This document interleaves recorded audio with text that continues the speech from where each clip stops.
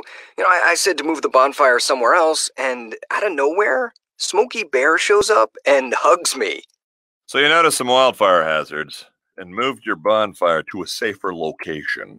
Yeah. Yeah, that's Smokey, all right. He likes it when people help prevent wildfires. It hits him close to home.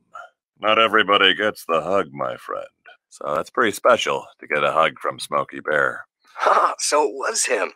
Hey, guys, I told you it was Smokey. Okay, well, congratulations, my friend. And thanks for calling. There are many ways to prevent a wildfire.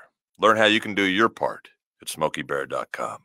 Only you can prevent wildfires. Sponsored by the U.S. Forest Service, Ad Council, and your state forester. Hope you enjoyed your meal.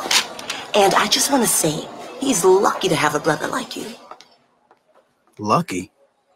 Caring for my brother is far from easy. Waking up every day, lifting him from the bed to the wheelchair to the car to get him to therapy on time, it's no small task between the doctors and the diagnosis, but nothing can disable this love. This is my big brother, my hero. He's part of me, like my arms and legs, so I'll be his. See, there's no time for tired. This starts again tomorrow. He'll be waiting for me. I wake up for him. I know he needs me but I'm the lucky one. Even though I need help now and then. If you're caring for a loved one, visit aarp.org slash caregiving for care guides and community, or call 877-333-5885. Caregiving Resource Center. Support for your strength. Brought to you by AARP and the Ad Council.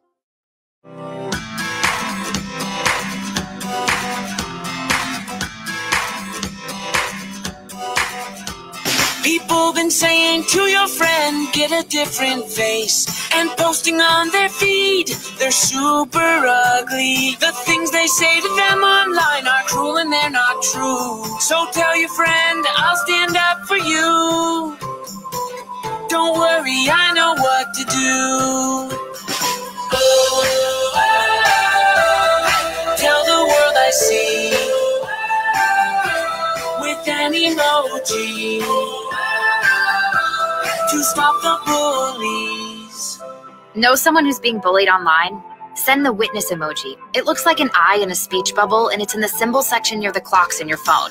You'll let the world know it isn't cool, and you'll let your friend know you care. Learn more about the witness emoji at iwitnessbullying.org. Brought to you by the Ad Council. It may be hard to believe, but people just like you are already saving money. FeedThePig.org makes it easy. Their simple savings plan teaches you how to start saving without going overboard. So you don't need to mooch off your friends. You gonna finish that grape? You mean the one in my mouth? You don't need to stop buying the necessities. What you're smelling is a natural musk. Ew. You don't need to be a medical test subject. How do you feel? Mostly okay. I. Sometimes, though. You don't need to get a second job as a stuntman.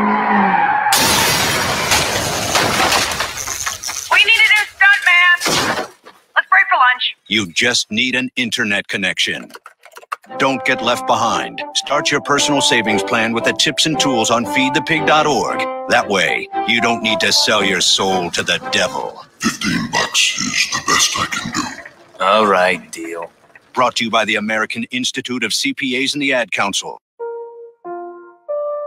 When is the best time to talk to your family about staying in touch during a disaster? When floodwaters reach your door?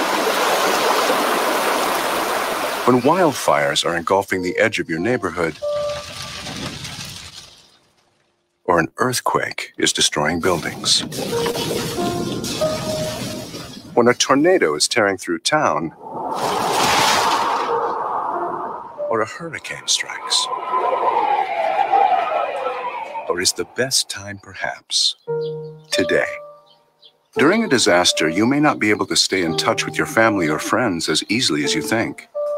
And it's not always as simple as using your cell phone. That's why now is the time to take action. Go to ready.gov slash communicate and make your emergency plan today. Don't wait. Communicate. Brought to you by FEMA and the Ad Council. Do current market conditions have you nervous? Our experienced team of financial professionals at Heritage Harbor Financial Associates understands that no two investors are alike. We all have different goals, needs, and appetites for risk. That's why the one size fits all approach does not work, especially when planning for retirement. At Heritage Harbor Financial Associates, we analyze your unique investment style so that you can work toward your individual retirement goals on your terms. Heritage Harbor Financial Associates can help you take steps to reach your retirement goals by providing a wide array of financial products to fit your needs, even for the risk adverse. Give us a call at 631 331 6599 to learn more or to set up an appointment with one of our financial professionals. You can also find us on the web at hhfa.org or on Facebook at facebook.com slash hhfa.org. Our number again is 631 331 6599. That's 631 331 6599. Investments in stocks, bonds, and mutual funds and variable annuities are not FDIC insured and are subject to fluctuation in value and market risk, including loss of principal. Heritage Harbor Financial Associates offers securities through AXA Advisors LLC, New York, New York. Member FINRA, SIPC, annuity and insurance products offered through AXA Network LLC. Be fearless at MMA Long Island and Seituha Karate. Located at 28 Cold Court in Ronkonkoma, MMA Long Island is the martial arts school for you if you want to learn combat proven techniques, build confidence, discipline, and self esteem while learning real martial arts to fight back against bullies, predators, and peer pressure. MMA Long Island offers group and private lessons for all ages and levels in traditional Goju-Ryu karate, MMA, and self defense. MMA Long Island is one of Long Island's most affordable martial arts schools. There are no promotion, belt, or membership fees, and family discounts are available. All classes are taught by 7th degree black belt Sensei John Benedict with over 30 years teaching experience. So whether you want to get in the ring or protect yourself and your family, MMA Long Island can help you reach your goals. Visit MMALongIsland.com. That's MMALongIsland.com or call or text 516-381-9660. That's 516-381-9660. Edward Lehman has been a trusted insurance advisor for over 16 years with insurance solutions for auto, home, commercial, life, and retirement. He's located at 54 Sunnyside Boulevard, Suite H in Plainview. That's just 1,000 feet south of 495. Local agent, local advice. The time to think about insurance is before you need it. So do yourself a favor and before you pay your next insurance bill, give Ed and his team a call 516 935 3900 or visit them online at www.allstate.com. EL. Edward H. Lehman Insurance is your trusted insurance advisor. Take a look under your bed. Find stuff under there? What about jobs? No? Now try your basement. There's a pair of overalls that overall you're not so into anymore. A perfectly good laptop that hasn't sat in your lap in months. And even more stuff, but still no jobs? Well, you really have both. See, stuff is defined as household articles considered as a group. Sometimes this stuff is no longer needed. Wait, no longer needed? That can't be right. Because remember those jobs you were looking for? Those are really needed, and they're the stuff inside your stuff, even inside that winter coat that moved with you to Phoenix. Our job is to unlock those jobs, and it starts when you donate your stuff to your local Goodwill. Here's how we do it. When you donate to Goodwill, we sell your stuff to provide job training for people right here in your community. So just by teaming up with Goodwill, you help create jobs. And isn't that worth parting with the leftover keytar from your 80s cover band? Goodwill. Donate stuff, create jobs. Find your nearest donation center at goodwill.org. A message from Goodwill and the Ad Council. It's the Worldwide Sports Radio Network. You are now about to witness the strength of street knowledge. Number 70! We're talking about practice. Hello, you play to win the game. The Yankees are champions of baseball. Mr. Gorbachev, tear down this wall. Three, two, one. Happy 2000! No time on the clock, and the Patriots have won Super Bowl 36. Jordan open. Chicago with the lead. Worldwide Sports Radio Network presents Below the Mark. Hello, Long Island, New York, and around the country. This is Below the Mic. I'm your host, Errol Marks, and my co-host, Mr. Tidy Whitey Man himself, Speedy Petey. Remember, you can call us at 631 500 0548. Again, it's 631 500 0548. Remember, you can go to our website at www.worldwidesportsradio.com and you can download our app. Yes, you can. What do you have to do? Well, you got to go to iOS, which is Apple, WWSRN, or Android, Worldwide Sports Radio Network. Speedy, how was your snowstorm? Did you enjoy it? Uh, not really, because it was grueling to shovel everything. It took about two and a half hours. Plus, uh, the my grandparents are getting an uh, getting an oil change to get more heat into the house, so I had to I do a path for them. So it was grueling, but uh, grueling. I, have never I've two and a half heard, hours it took. I've never heard of a word when when it comes to snow shoveling to be grueling. Uh, I mean, obviously, it's backbreaking work. Obviously, it can kill the hell out of your legs and your knees. We've seen this. And yesterday, with my neck situation, I got the opportunity to watch my landlord snowplow me out. That's what I saw. And I mean, I did a couple of things on the. Uh, the stairs over here, uh, trying to fix up the stairs and make sure that the foot of snow is outside uh, better than looking in, if you know what I'm talking about. But uh, all in all, uh, we're through this snowstorm. It was a terrible, terrible snowstorm. And hopefully, now moving forward, we can talk about the Super Bowl. But we do this every single Wednesday for Below the Mic Speedy. Sports and entertainment news. Dallas Mavericks could land Russell Westbrook in a blockbuster trade. Hmm. I don't know about a blockbuster, but I can't see Russell Westbrook getting traded unless KP or Luka Doncic is involved with it. I can't see it. Yeah, that's not going to happen. There's too cash strapped as it is to afford that kind of contract. Why would the Bears or why the Bears could be good fit for Derek Carr? How many times do we talk about Derek Carr getting traded? Last year, year before, ever since Jon Gruden take over the Oakland Raiders, and he had a great season, a sensational season this year. He was one of the best quarterbacks in the league, and now they're talking about trading him again. Yeah, again, this is another old news type thing. I don't think the Raiders are going to trade Derek Carr. I mean, the Bears make a lot of sense if they do want to try to explore that kind of option because the Raiders need a lot of defense, and the Bears have a lot of defense. But I still don't see it happening.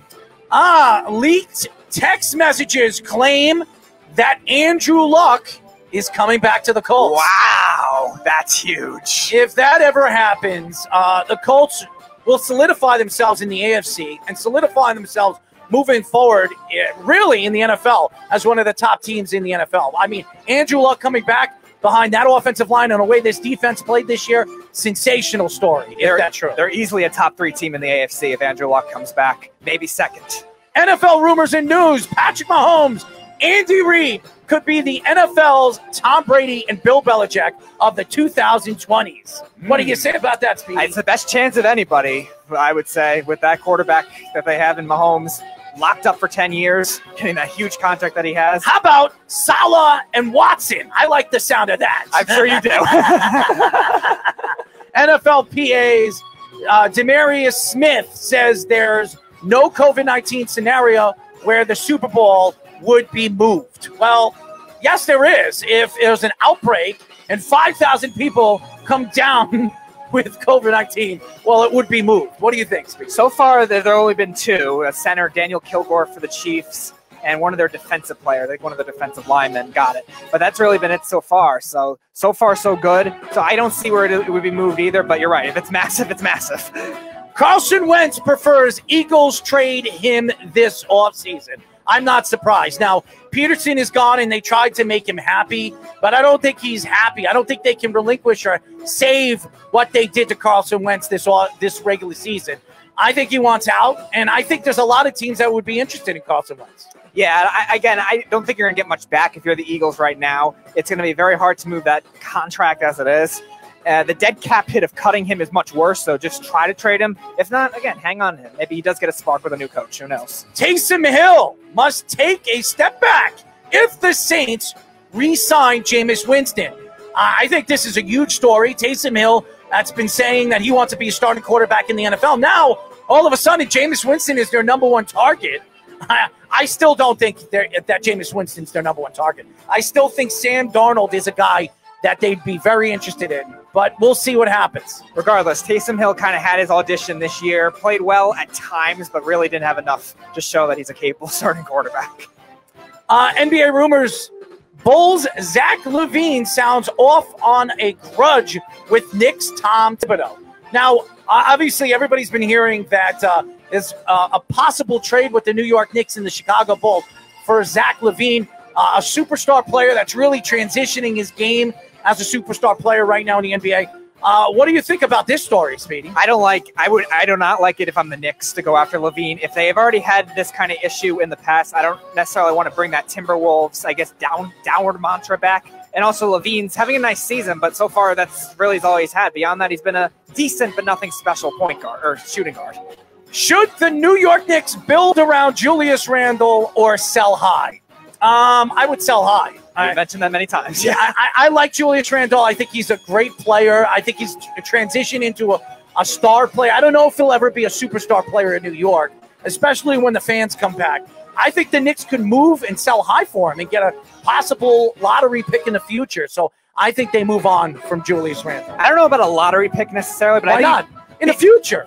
Yeah, because I think Julius Randle, with the season he's having, I think maybe the time to trade him is at the trade deadline this year. I think that's maybe his highest value. So I don't know if you'll necessarily get a lottery pick unless that is a surprise team that has an extra draft pick for whatever reason that you're going to get. Maybe in a the team- future, five years from now, four Yeah, years now. Well, yeah, maybe, but right. But I'm saying it's it's very tough to tell if that'll be a lottery. Well, you have Obi Toppin. So, uh, Rudy Gobert had a very honest conversation with Donovan Mitchell to clear out the air.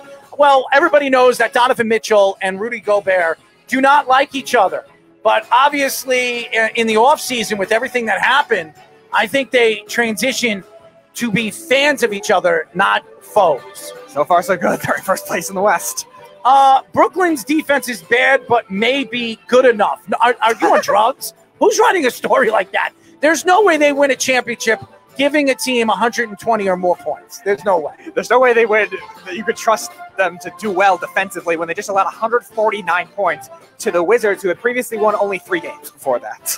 MLB rumors and news. Mets, Michael Conforto isn't buying into own team's hype just yet. Well, obviously not. He's got his contract, he's got his smile on his face. Why does he give a crap? He's going to win no matter what, as long as Steve Cohen is there. And this team has the players uh, like Francisco Lindor and maybe the Panda Bear, the Polar Bear. So uh, they're looking good moving forward. The Jays interested in veterans Yadier Molina. What do you think? I like it for the reason of the Blue Jays do not have a lot of pitching right now. They have a top prospect in Pearson who might come up this year, but beyond that, they don't have much pitching outside of Ryu.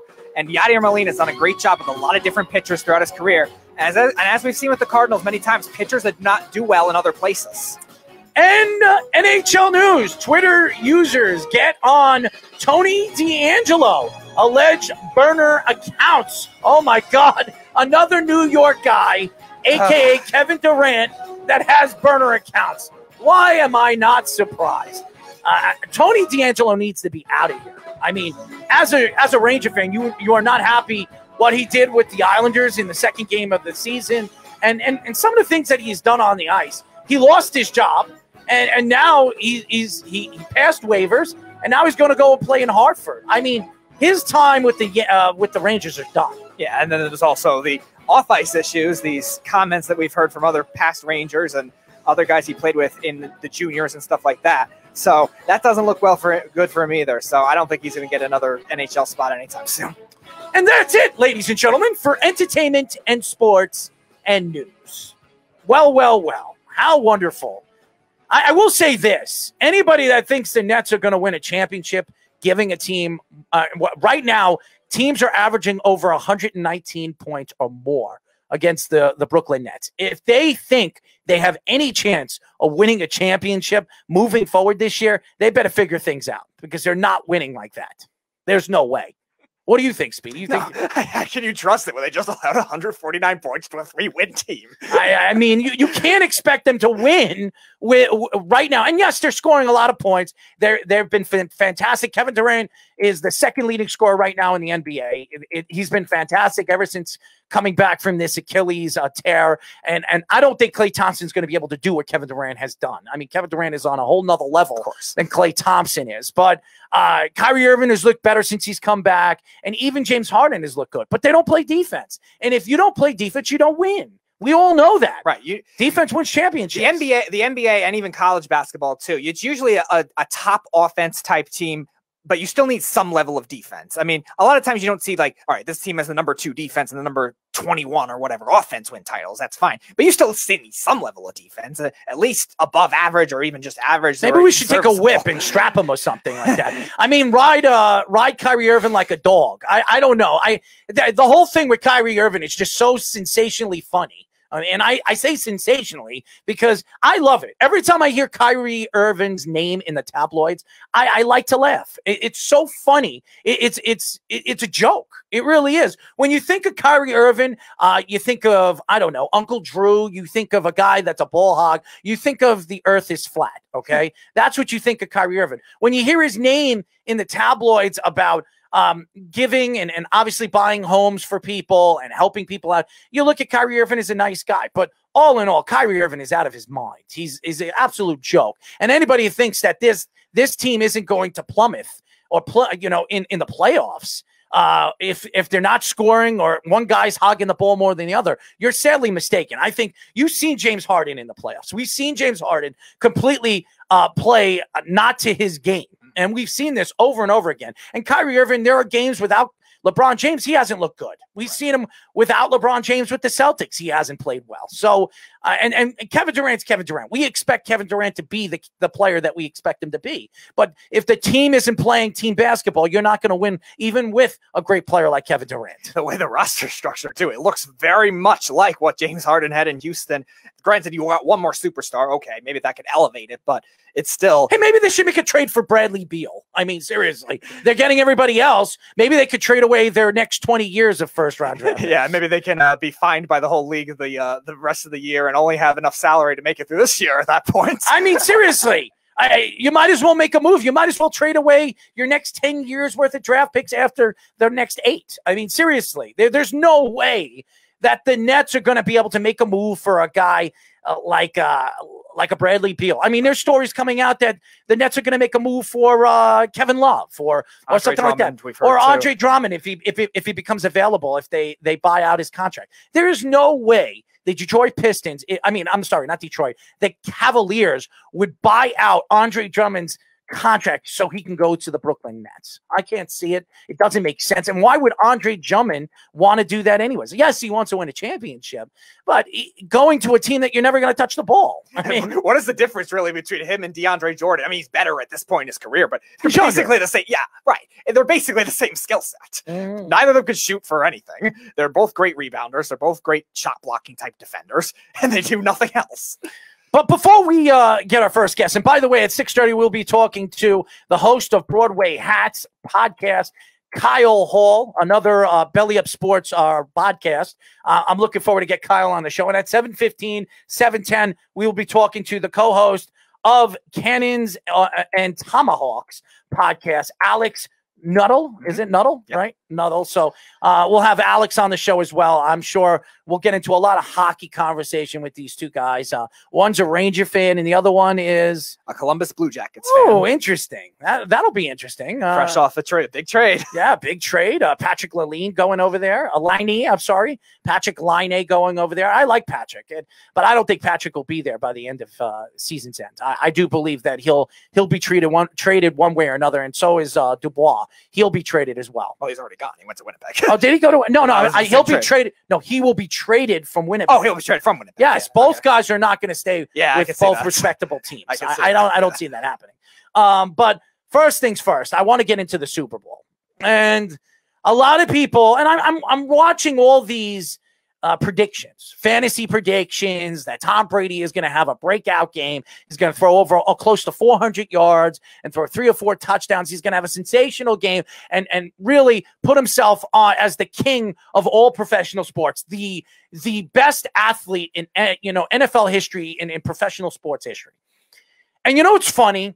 It's not the fact that uh, Tom Brady isn't sensational as a player, and we and you can't really talk down to what Tom Brady has done in his career, being that he's been to ten Super Bowls and he's won six Super Bowls out of ten. It's it's a sensational record, and and, and looking at that, it, really stands out for to be uh, uh, utter world like. It really is. It's it's crazy when you think of a guy that's going going to play in his 10th Super Bowl and has won six. I mean, teams haven't even.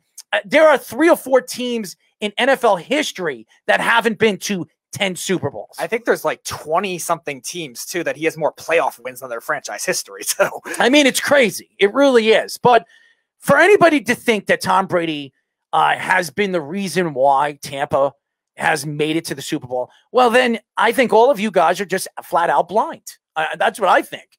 Because Tom Brady, besides the Redskin game, uh, I'm sorry, the Washington football team, um, he has not played well. Now, last week, I mean, a week and a half ago, he, he he played a great first half and then completely choked in the second half of the game. And if it wasn't for Aaron Rodgers, uh, Green Bay would be going to the Super Bowl and not Tampa.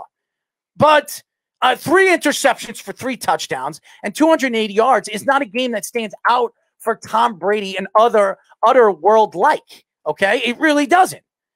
Now, Tom Brady going to this game, he's playing the young gun. He's playing the the talented Patrick Mahomes, where everybody everybody's trying to compare and contrast the next Tom Brady, the guy that's going to stand out, the guy that's going to win three or four, possibly five or six Super Bowls. And the closest one right now to that list is Patrick Mahomes, being that he's in the AFC, being that the AFC is very weak, it's not the NFC, and being that he's in a division that's with the Oakland Raiders. So that's a laughing stock by itself.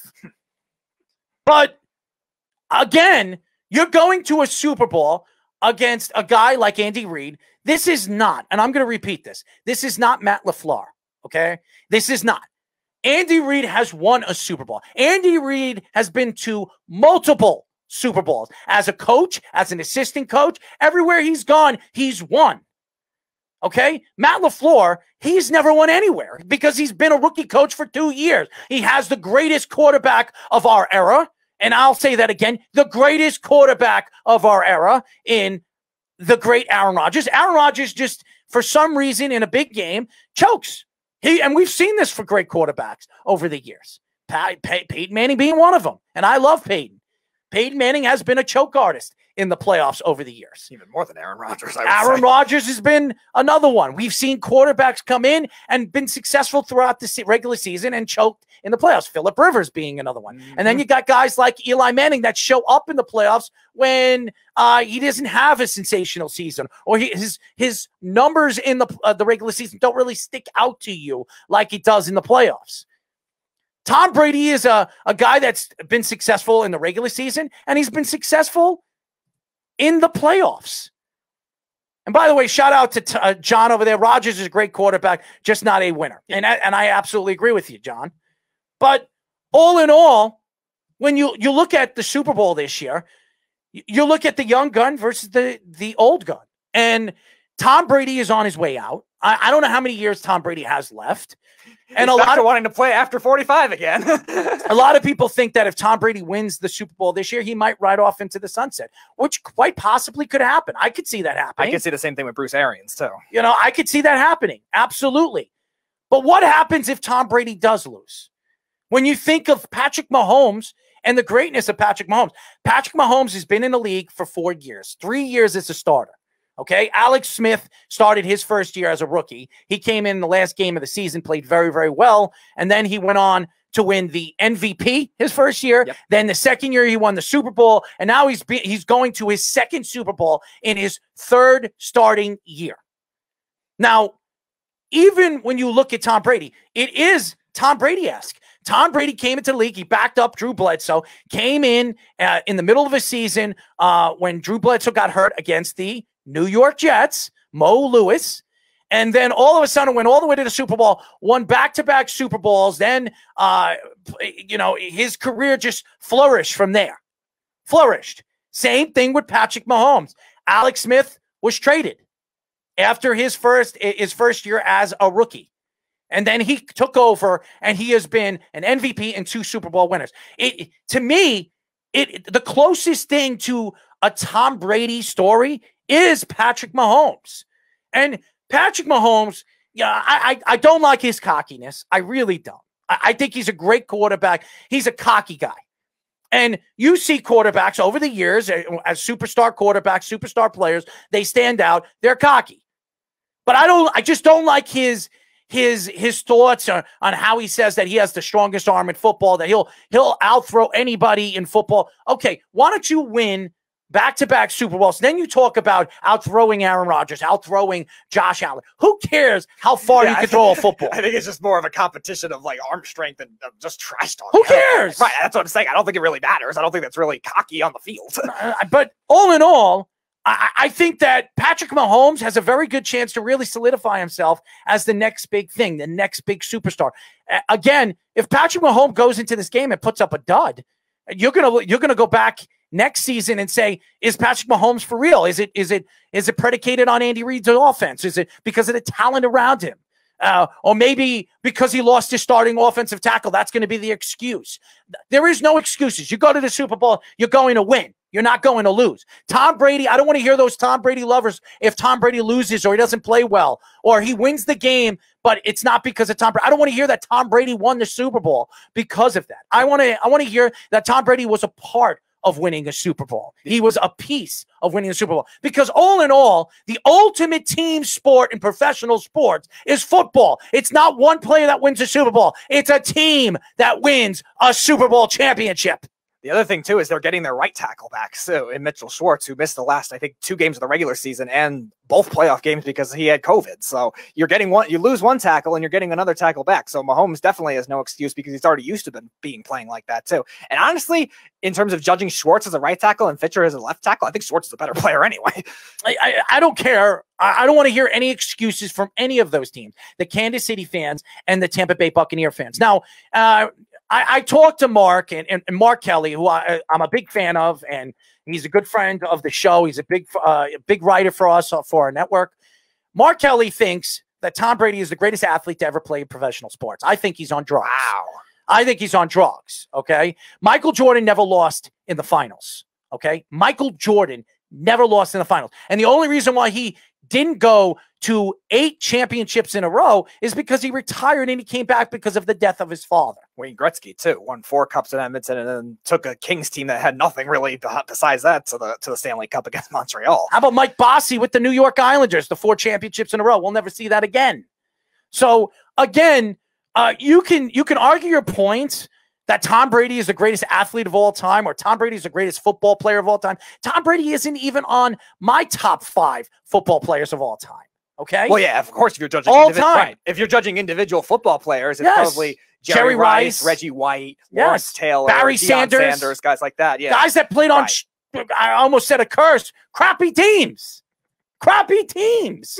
Barry's, and I'm not going to say Jerry Rice played up on a crappy team, but let's be honest. Deion Sanders over the years, did he play besides the Cowboys? Was he on great teams on the, you know, uh, for his whole career? He good- wasn't. yeah, Good Atlanta teams. was good, but not good, great, but yeah, not great. I mean, the 49ers were good. The the Cowboys were good. That's why he won titles with those teams. Uh, how about Barry Sanders? Did he play on great teams? nope. I mean, Jim Jim Brown, did he play on great teams? Uh, he did to an extent. He but- was the player that made those teams great. Right. That's what I was going to say. He was the best player on that offense. Even though it was a good offense, he was the best, still the best player by far. And he was unheard of in an era of football that had a lot of smaller players. He was uh, just a plow. To me, Tom Brady is one of the greatest top 10 cra- uh, quarterbacks. And I mean, uh, no, he's top five quarterback of all time. If he wins the Super Bowl, even if it's not the reason why to win the Super Bowl, if he wins seven out of 10 Super Bowls, I put him as my top two. I would say he's the second greatest quarterback to ever play the game, right behind Joe Montana.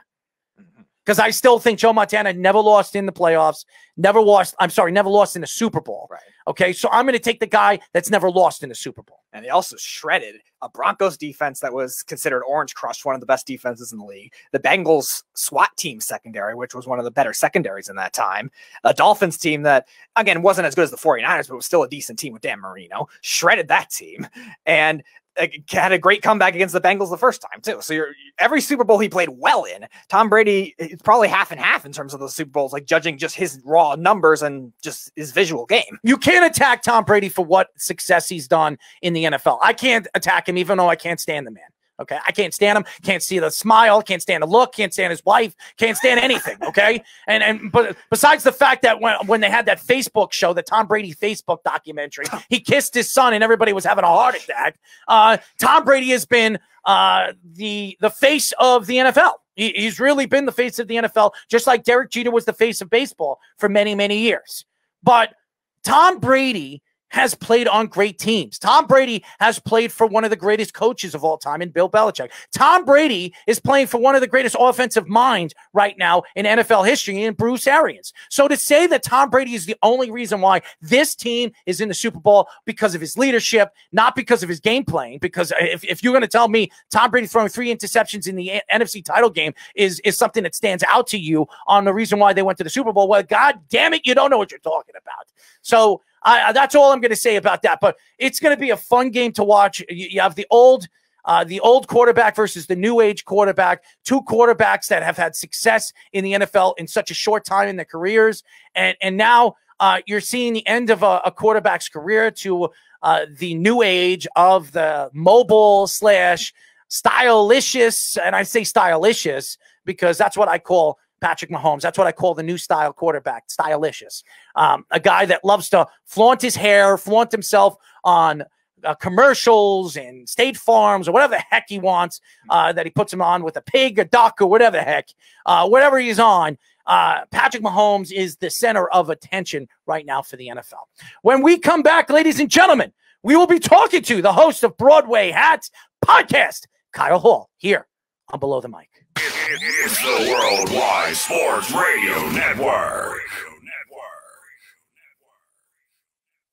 Do current market conditions have you nervous? Our experienced team of financial professionals at Heritage Harbor Financial Associates understands that no two investors are alike. We all have different goals, needs, and appetites for risk. That's why the one size fits all approach does not work, especially when planning for retirement. At Heritage Harbor Financial Associates, we analyze your unique investment style so that you can work toward your individual retirement goals on your terms. Heritage Harbor Financial Associates can help you take steps to reach your retirement goals by providing a wide array of financial products to fit your needs, even for the risk adverse. Give us a call at 631 331 6599 to learn more or to set up an appointment with one of our financial professionals. You can also find us on the web at hhfa.org or on Facebook at facebook.com slash hhfa.org. Our number again is 631 331 6599. That's 631 331 6599. Investments in stock, bonds, and mutual funds and variable annuities are not FDIC insured and are subject to fluctuation in value and market risk, including loss of principal. Heritage Harbor Financial Associates offers securities through AXA Advisors LLC, New York, New York. Member FINRA, SIPC, annuity and insurance products offered through AXA Network LLC. It's the Worldwide Sports Radio Network.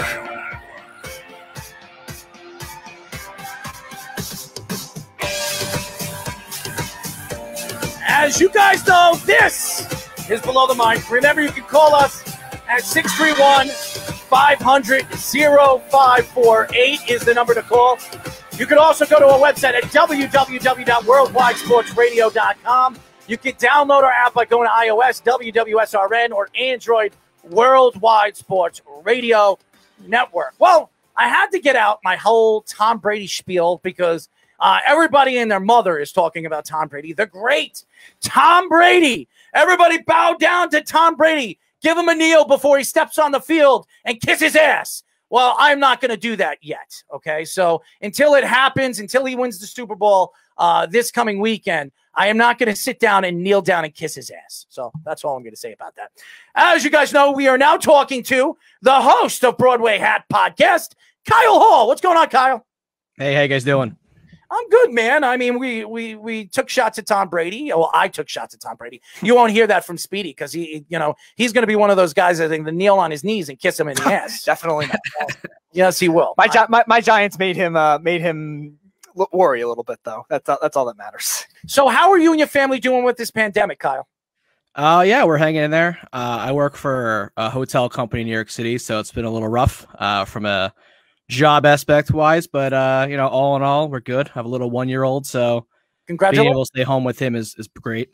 You know, uh, you know, what happens if we trade your son for Speedy Petey? We'll wrap him up. We'll put him in like a nice little, uh, uh, what do you call it, a cradle or something like that, and you know, you can put him to sleep because he doesn't sleep. This man does not sleep. He's up all hours of the night. He's like a little child. So if you want to smack him I him do around, sleep. you I want to potch him or something like that. It's just shifted from the normal smack person. him around because look at him. I mean, look at him. I, I mean, look at the beard. Look at the mustache. I mean, he, he looks like a little dirty scoundrel right over here. I mean, seriously. Anyways, uh, as you guys know, we were talking to the host of Broadway Hats podcast, Kyle Hall. So tell us a little bit about your show and what.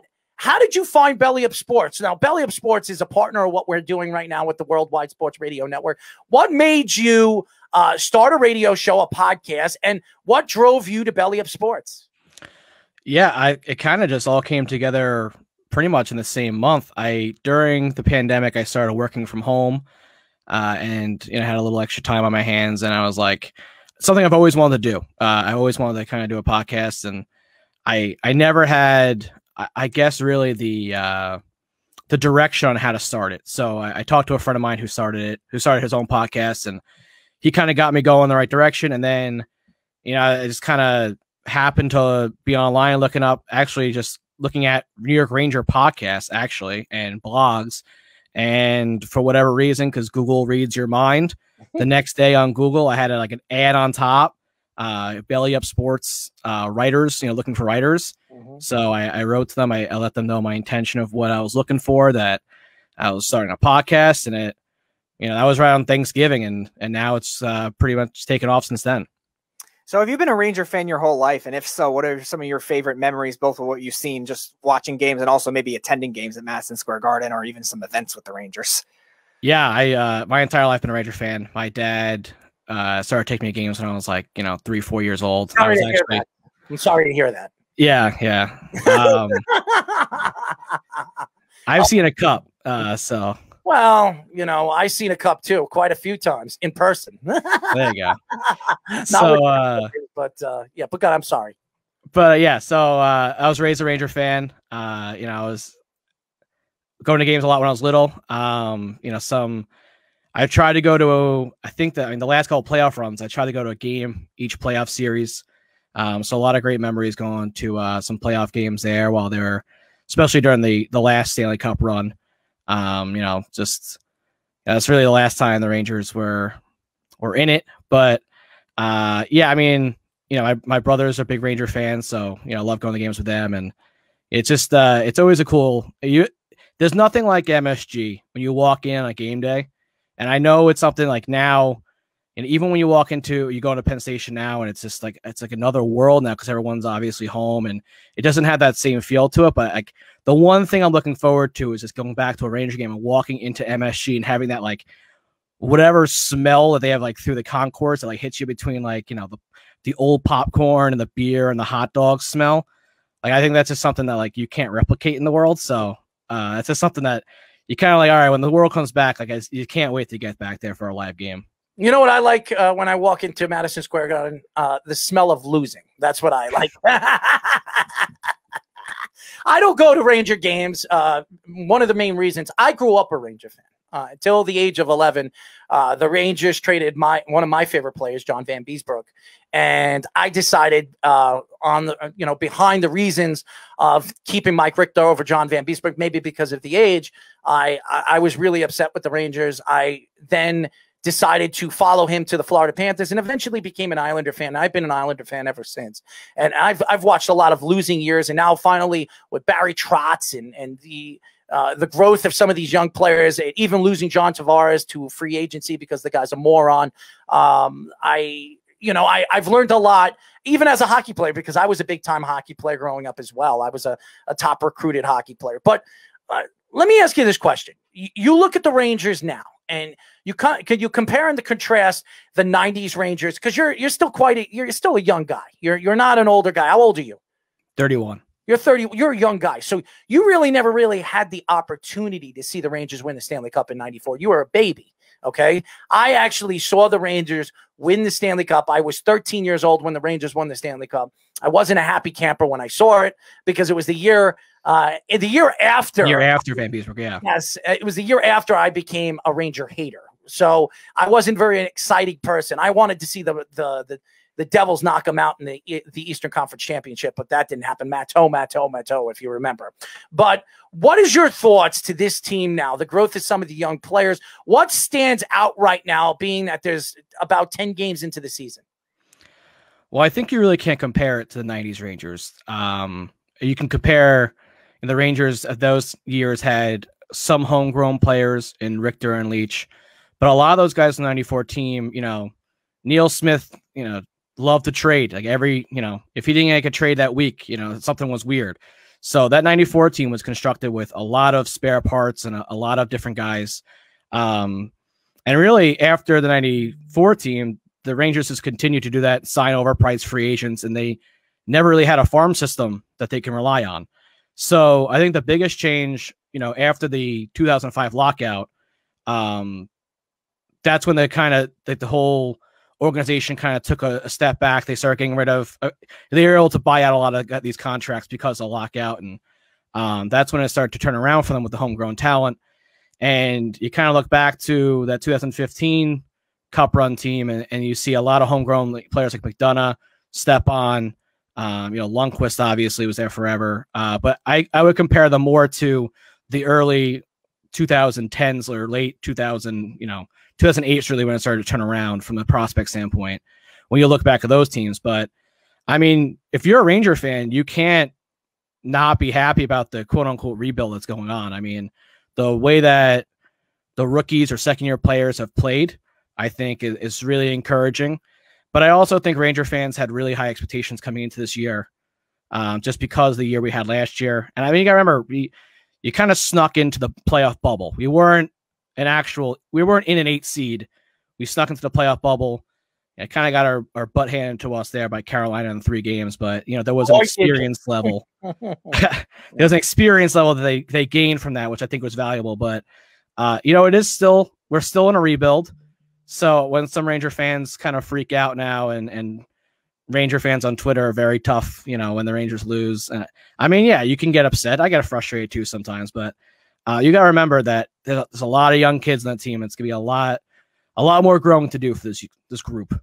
So one of those young players that Errol and I both surprised is, is up this year is K'Andre Miller, mm-hmm. who we thought might have been two years away, mm-hmm. and he's been up this year. And outside of the the Islander game, the first one of the season where ever, nobody played well in that game, he's really played well in every other game so far. So what have you seen from him, like skill wise, the most, numbers wise, the most from him, and he's, he's he exceeded your expectations?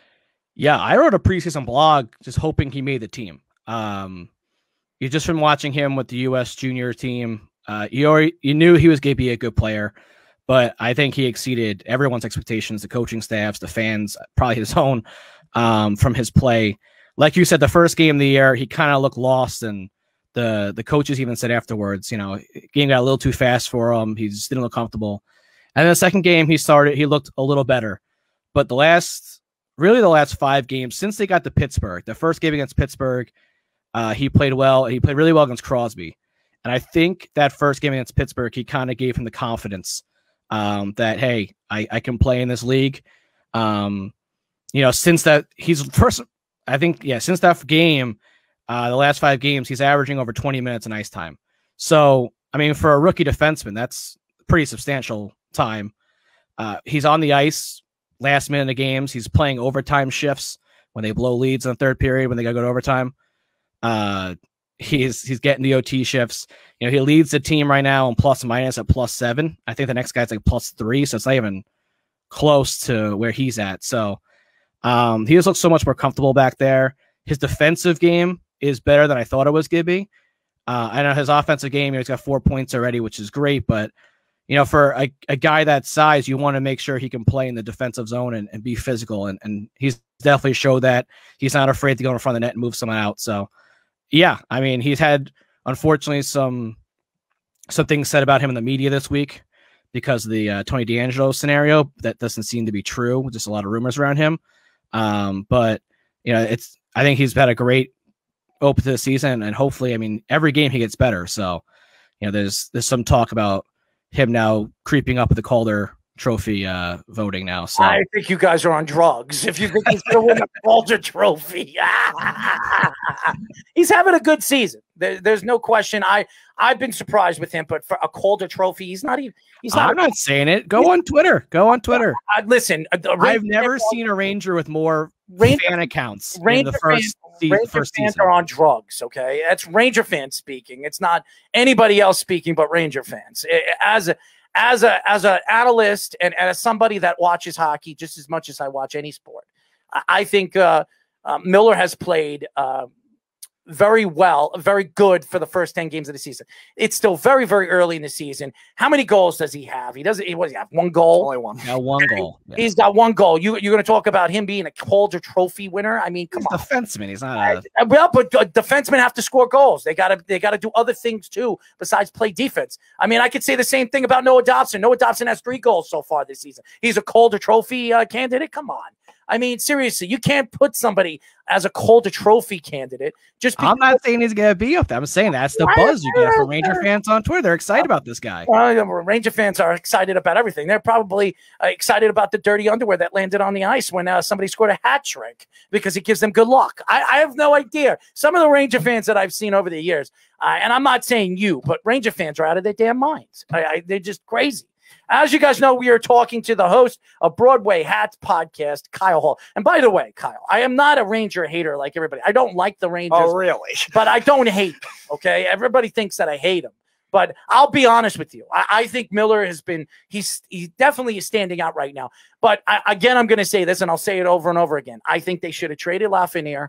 Uh, they it, it- getting that number one pick, I would have I would have traded that number one pick and got myself a top end number one style defenseman because that's where they're lacking at the position and and maybe get themselves a sixth or a seventh pick uh, in the draft and they still would have gotten a quality player and, and we don't know what Alexis Lafreniere is and so far he's what one goal I think he's got a goal Overtime winner last week. I, That's I, right. I mean, he hasn't really done anything. So I, I know he's young, and I only I know he's only 18 years old.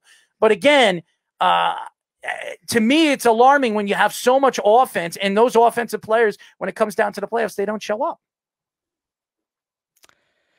Yeah, I think the thing with Lafreniere is he got off to a really slow start, and and he even said himself after the first goal that he was pressing.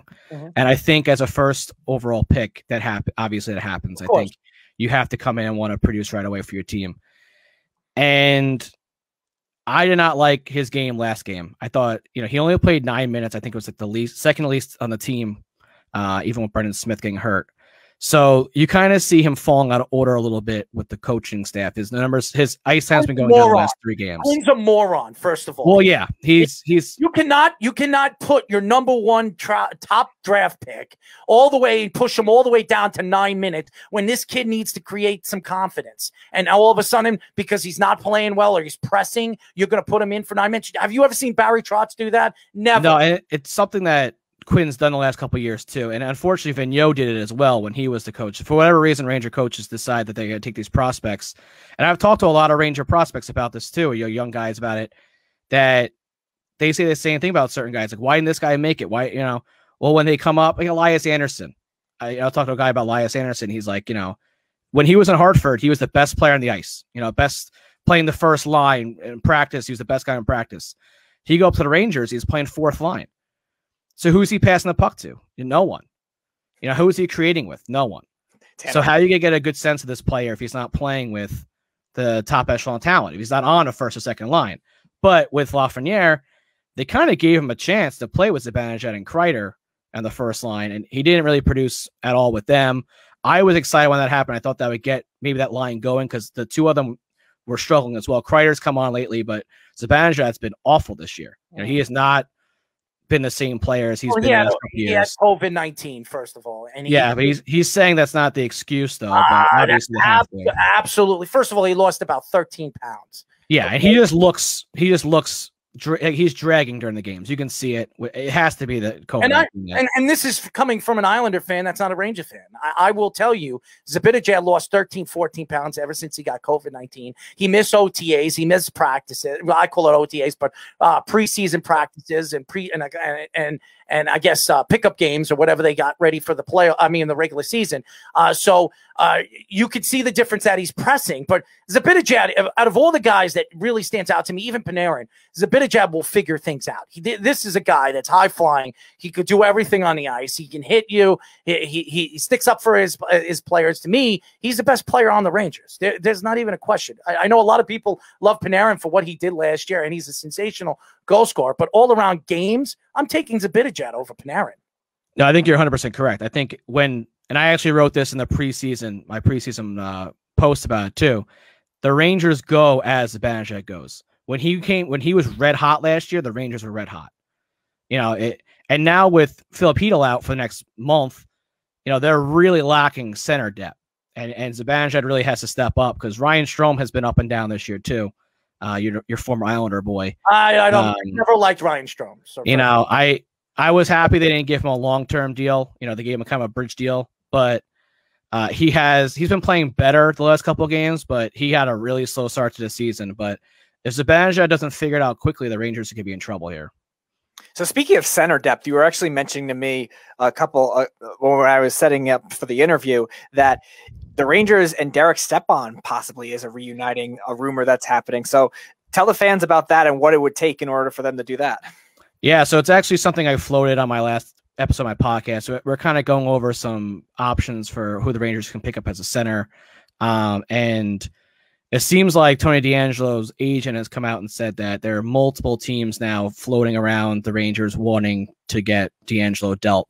Um, and the Rangers, Take what? him. He stinks. Yeah, I don't care. That someone anyone could take him, but apparently a team. I saw a couple things earlier today that um, a team that might be interested is Ottawa because they're looking to offload salary, and for the Rangers to make this work, they'd have to probably take some salary back. And uh, Derek Stepan's making six point five million in Ottawa. Ottawa does not want to pay him six point five million. You know, he is not the same player he was, but he's only thirty years old. So it's not like he's really at the end of his career. Like he has a couple good years left. Uh, he's not obviously the same player as he was when he left the Rangers, but I mean to fill in as a third, second line center, I mean you can do worse. He's in the last year of his contract, so you kind of give him a, a show. You know, it's kind of a, a show me year for him anyway. Mhm. And now him, the Rangers could use some veteran leadership right now anyway in the locker room. As you guys know, we are talking to the host of Broadway Hats podcast on Belly Up Sports, Kyle Hall. Kyle, before we let you go, okay, and I, I know a lot of people, I know a lot of people uh, have this Ranger Islander, you know, uh, what, what's the word, Speed? Rivalry. Not rivalry, I, I, hatred, okay? As, as a Ranger fan, do you hate the Islanders? And if No. you do, uh, no, so you don't hate the Islanders. I don't hate the Islanders. And I think the reason, and you're going to hate my reasoning behind it. I, I want to hear this. Go ahead. growing up, the Islanders were never a problem for the Rangers. When I was when I was growing up watching the Rangers, that I mean, the Ranger, the Islanders were you know going through a rebuild, and they had you know the fish sticks days when they didn't have an owner, and you know fake owners. They always everything else. played well. They always played well against the Rangers. Always. Yeah, I, I was never worried. I, I'm more of a I more hated the, the Devils than anything. I hated Brodeur. Um, that was more of a rivalry in my mind. Um, for the Greatest tri-state area. ever. Greatest goaltender ever. I hope you're relating some Marty chants. How could you hate Martin Brodeur? I mean, now you Very easily. Well, I mean, because you beat your team every time. That's why you hate him. But now that he's retired, you can't hate the guy. I mean, the guy's one of No, the you great- got you got to respect him. You have to respect that he was a great goalie, but you can still not like him. Yeah, how many Islander fans hate Lundqvist? I don't hate Henrik Lundqvist. A matter of fact, I, I speak very highly of Henrik Lundqvist. I think Henrik Lundqvist is one of the greatest goaltenders of this era. I, I, don't think if if you look at Henrik Lundqvist and what he did in this era and, and the goaltenders in the '90s, I don't think he comes even close with with the Dominik Hasek's, the the Eddie Belfours, the even the the Mike Richters and John Vanbiesbroucks and the Tom Barrassos. I mean, tho- those goaltenders in that goaltending time uh, was the greatest time for goaltending. I mean, now you look at you know guys like Henrik Lundqvist. Who was as good as Henrik Lundqvist in this time, in this era? Uh, I don't know. I, I, I mean, I, uh, it's definitely not any of the Islander goaltenders. That's for sure. I think he's judging more fan hate versus analytic hate. though. Yeah, Ah, I, I- I don't think fans hate Henrik Lundqvist, even Islander fans. Because why, why, why would the Islander fans hate Henrik Lundqvist? He's not putting the puck in the net. He's stopping the puck. And, and as an Islander fan, I, I always look. I always look at great goaltending. If, if you're a great goalie and you're stopping uh, our great offensive players, well, then we got to find better offensive players. I mean, seriously. So I, goaltending is, is the hardest position in professional sports. I don't care what anybody says. Try to get a 100 mile per hour, 110 mile per hour slap shot coming at you, uh, and and and coming in all different directions with a man standing in front of you. You Tell me if you can stop too, it, yeah. and, and try to stop it. Okay, I mean it's not easy. Okay, so uh, I think goaltending is the hardest position in professional sports. That's talking about pitching. That's talking about quarterback play. It is the hardest position in professional sports. And anybody that denies it, well, then you don't know sports, or you've never even actually stepped on the ice. Imagine a guy uh, wearing pads and, and equipment worth a- it's probably altogether about 20 pounds okay uh, uh, 20 20 to 16 pounds of uh, uh, and it on the ice for three periods and the ice you know it, the wet ice going into the pad and seeping into the pad and it's even heavier to drag. You're skating on the ice you're moving side to side while these guys are going 50 60 miles per hour on the ice. Tell me and and, and, and these guys are coming at a full breakaway on you trying to move and deke around you and you have to you know position yourself to stop the puck. I mean it's not it's not easy. It- it's definitely not. So I think goaltending is the hardest. So anybody that thinks Henrik Lundqvist wasn't a great goaltender, any Islander fan, well, then they don't know what the hell they're freaking talking about. Okay. So, anyways, um, why don't you tell the fans how they can find you on social media, man? Yeah, so you can follow me on Twitter uh, at khallny. Uh, and you can follow uh, the podcast on Spotify and Apple Podcasts. And then the podcast is on Instagram at the Broadway Hat Podcast. I want to get you. I want to get you back on as the season progresses because I want to talk more Ranger hockey uh, and where the Rangers are going to be. Right now, they're the worst team in the division. Am I right? They're tied with the Islanders. Tied with the Islanders. Yes. So the two New York teams are absolutely horrendous. If if the Buffalo Sabres are ahead of you, there's something wrong. Okay, there is something wrong. So Now, what do you what do you think about the division setup though? Do you I like it? it. I hate yeah, it. I hate it. I think the Rangers and the Islanders got screwed. I, I do. It's the toughest division by far. I mean, look, you got Washington, you got Philadelphia. That's one of the hottest young teams right now, and one of the hottest young goaltenders in all of professional hockey. Uh, I mean, you got the Pittsburgh Penguins when you have Sidney Crosby and Malkin still at the top of their games. I mean, that's a terrible division for the Rain and the Boston Bruins. I mean, who are always good. I mean, so And- it's terrible. If you look at every other division, there's always one layup in every division. They don't have that in the East. Nope. You know, this is no Senators or a Shark or a Red Wing. There's no team that you can go in every night and say, "Oh yeah, we're gonna beat them tonight." And Even Buff- Bu- I mean, Buffalo is that team, but they're Buffalo looks Good. You know, other than the goaltending's kind of look you know all over the place, but they have good players. Their goaltending's horrendous, but the rest of the team's not bad at all. Yeah. Especially their defense, people think of as bad. It's it's underrated. It's not really that bad. They arguably have the third or fourth best player in the league on the team. Okay, I mean, you can argue your points on how they play or what what type of players they have or what kind of goaltender they have. They have like two or three top twenty players on that team, and they have a great young defenseman that's uh, starting to develop. So, I mean, they're they're they're they're set up really really well. They just got to find a goalie, and that, that's going to be. And and I'll say this about the Islanders.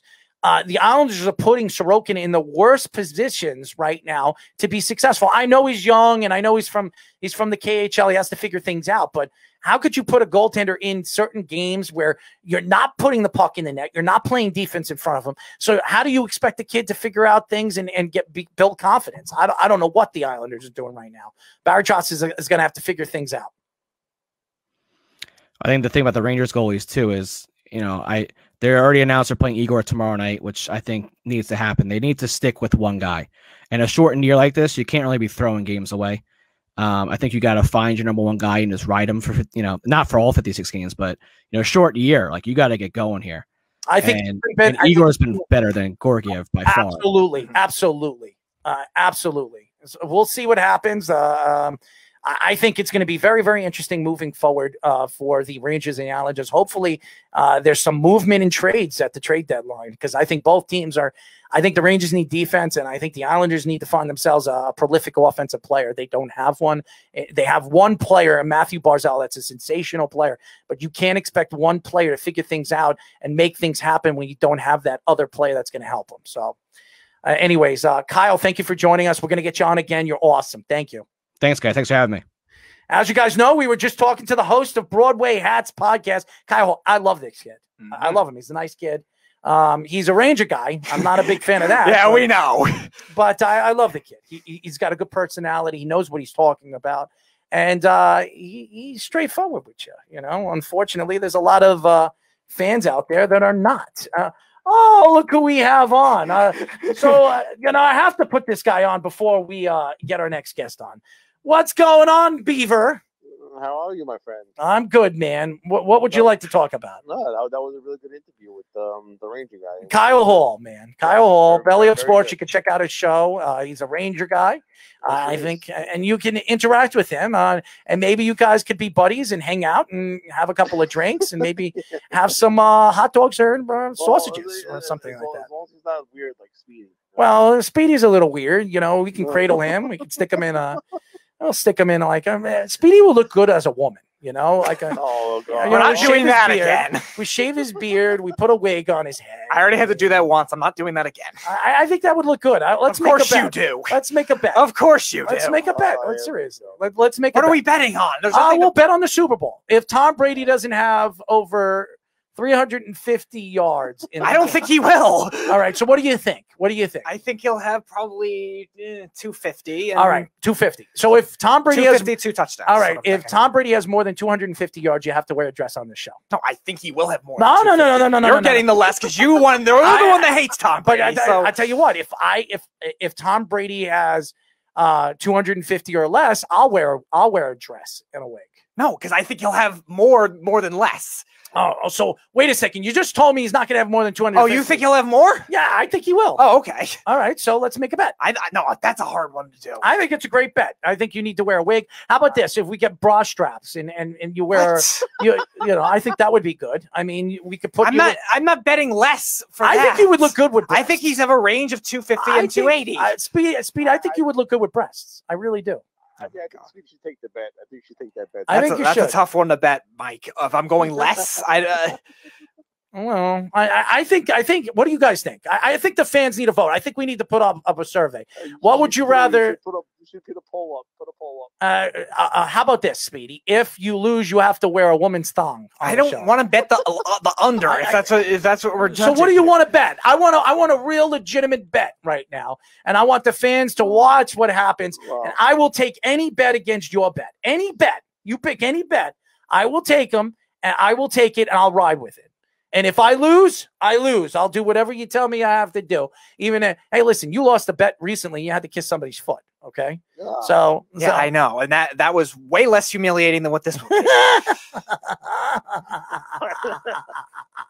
Come on, eh? who wants to see Speedy wear a woman's thong on a radio show? They already saw that three years ago. Well, you you you tell everybody you've you've done the show in commando. I mean, seriously. I said I oh. wore my pajamas in my house. Yeah, with- with no underwear on.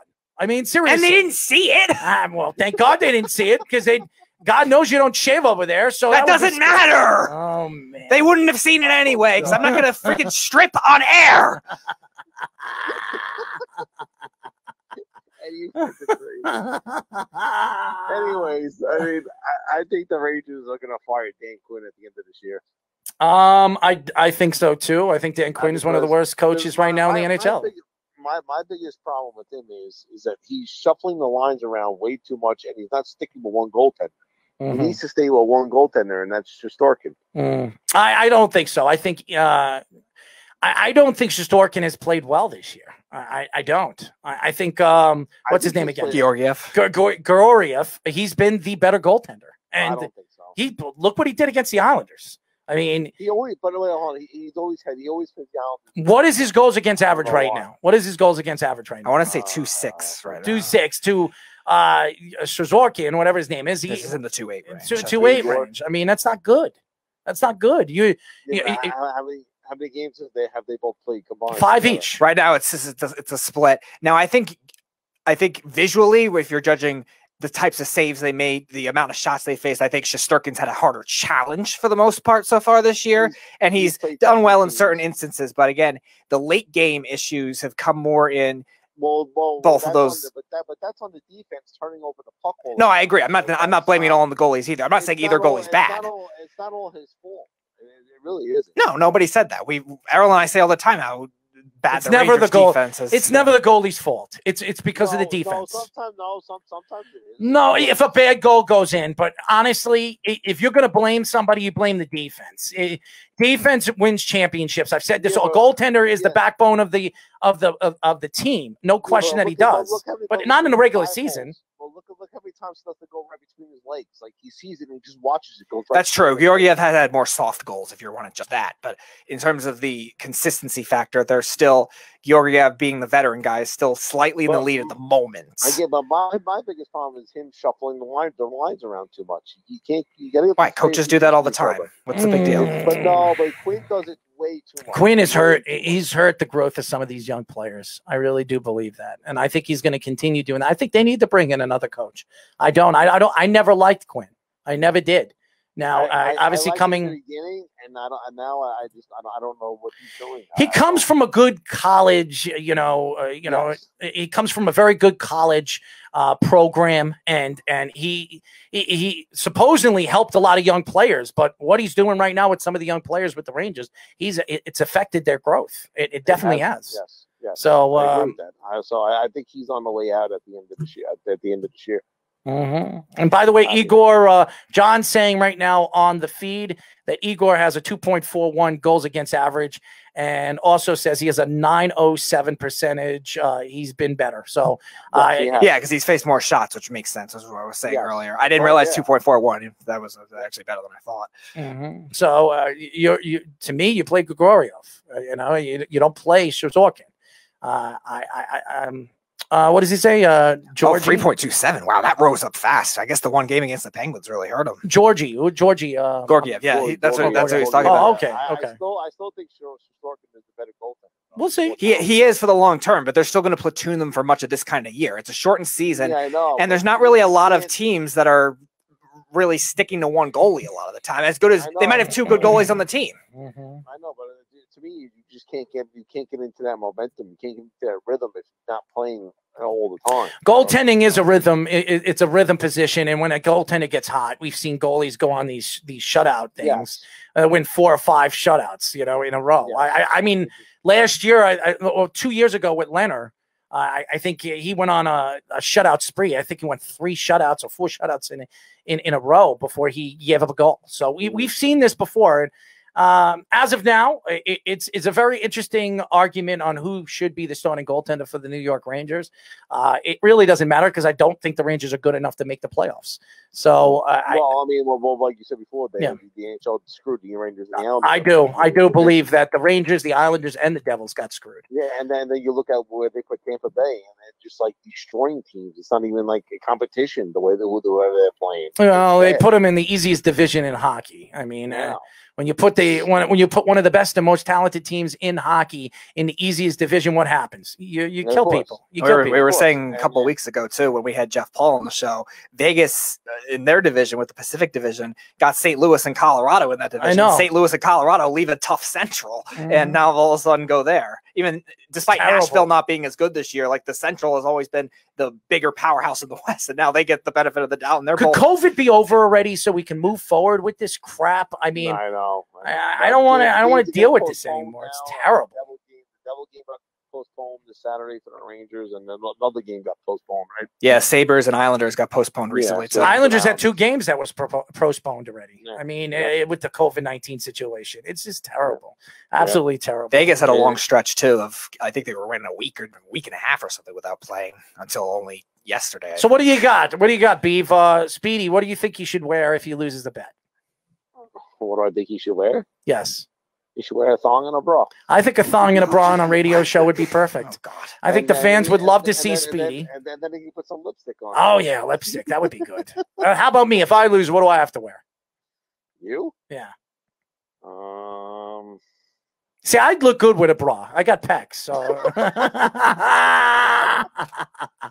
I'd, I probably have bigger boobs than some girls. I definitely have a handful, that's for sure. Oh, oh no. Oh man. Oh, Anyways, I thanks, you- Beef. you- I guess you would have done the same thing then. I don't know. Yeah, well, we'll figure it out. Maybe Speedy will make this bet. I doubt it, but we'll see. But, well, and then before I go, I, I, I I do think the Bucks are going to win, but it's going to be it's going to come down to the to the wire, I believe. I uh, I think uh, I still think Kansas City is the better team, and I trust Andy Reid in a big game because he's won in a big game, and Bruce Arians never been in the big game. So I'm going to go with the guy that, that's. But I mean, I, I still think it's going to be a very close game, It will, uh, of course, it'll be close. and I think it's going to come down to the end. So, Well, if it does, I, I I I would bet on Patrick Mahomes than I will with Tom Brady. So if it goes to that, I'm gonna Yeah. I'm gonna bet on the younger and more talented quarterback. there So, you go. So, anyways, right, thank we'll you, Beef. happens, guys. Yes. Have a good show. Talk Thank later. you, Beef, ladies and gentlemen. Uh, good friend of the show. Uh, interesting, to say the least, all the time. Anyways, uh, when we come back, we'll be talking to co-host Cannons of the Tomahawks uh, and Tomahawks. I'm sorry, Cannons and Tomahawks podcast on Belly Up Sports. Alex Nuttle here on Below the Mic. It's the Worldwide Sports Radio Network. Be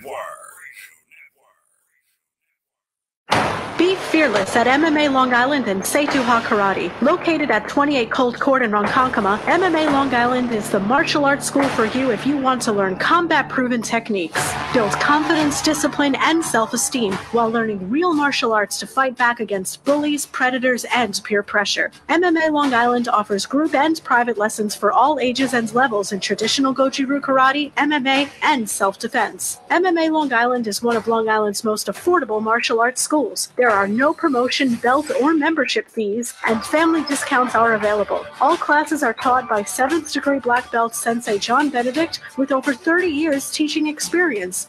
So whether you want to get in the ring or protect yourself and your family, MMA Long Island can help you reach your goals. Visit MMALongIsland.com. That's MMALongIsland.com or call or text 516-381-660. That's 516-381-9660. You're, you're, you're listening to the Worldwide Sports Radio Network.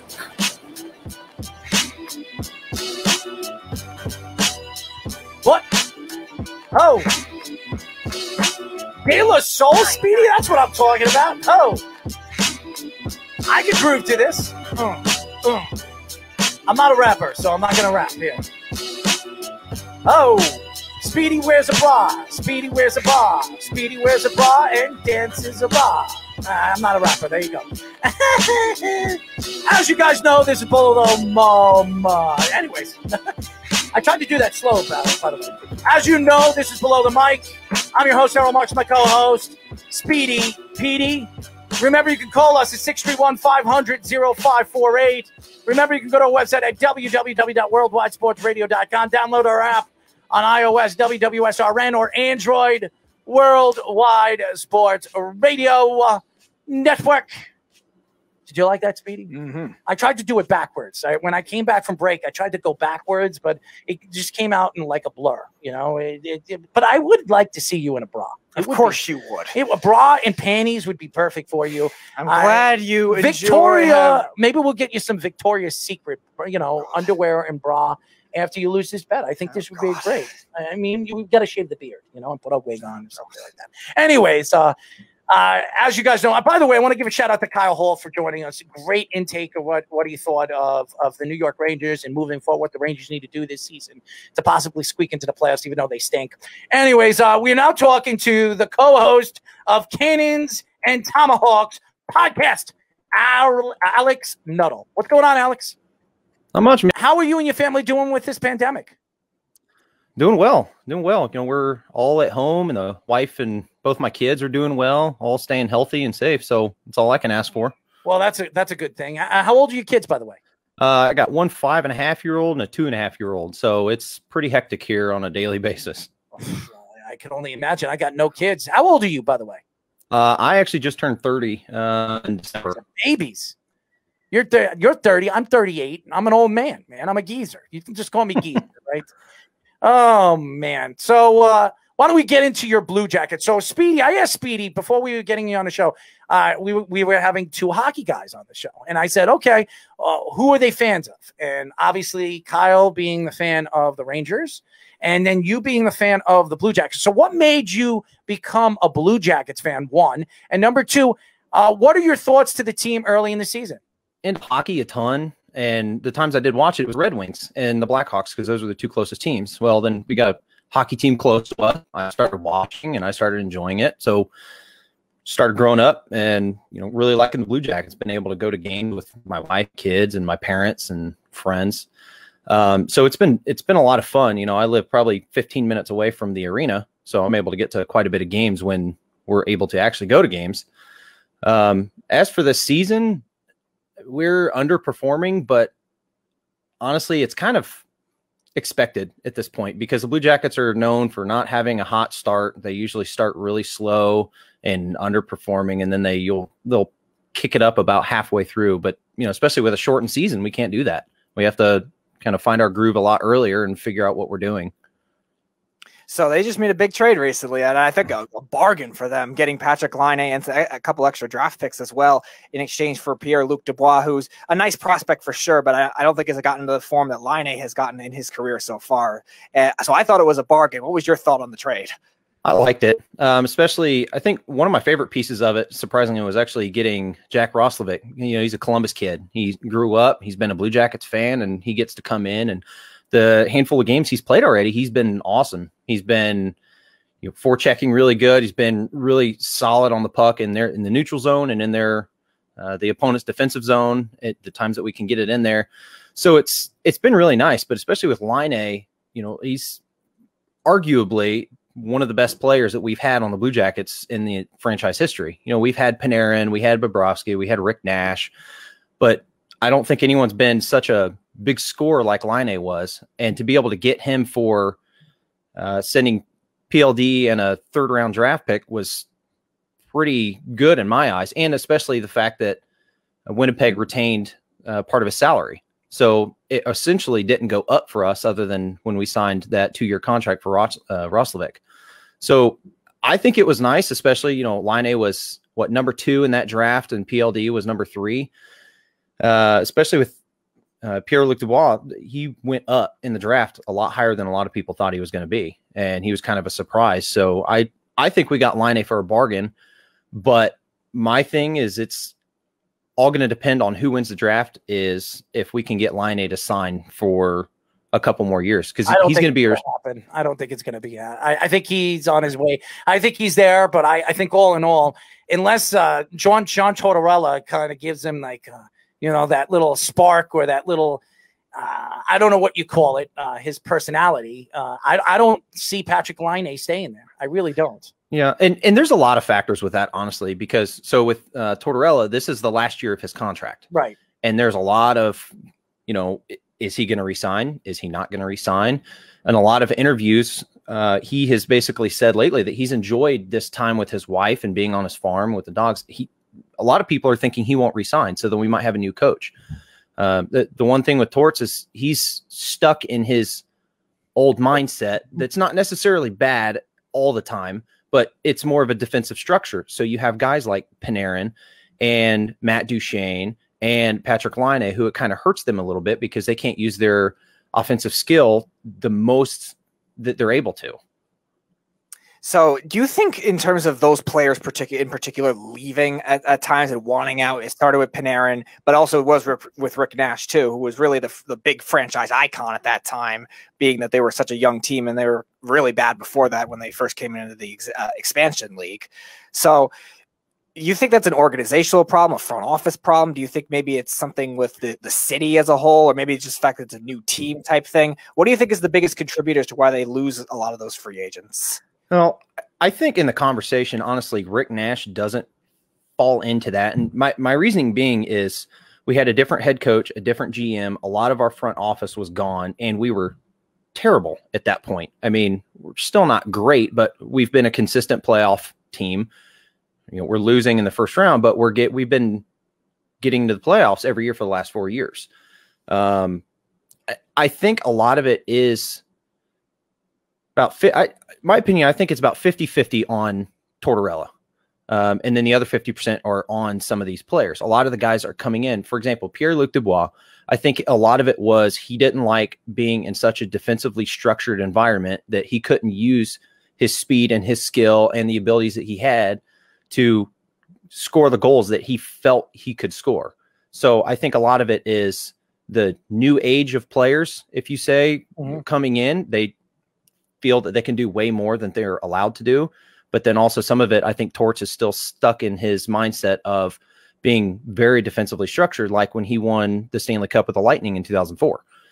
So I think a lot of it is, you know, if Torts can kind of back off on that a little bit, let the offensive guys do their thing, which he has a little bit more this year. Um, but the city is awesome. Columbus is awesome. You know, we have Ohio State here, the Columbus Crew. They're getting a new stadium in the Arena District. We have the Columbus Clippers. They're right next door. So, my opinion, I don't think it's the city, but I've also lived here for 20 years, so I'm kind of biased.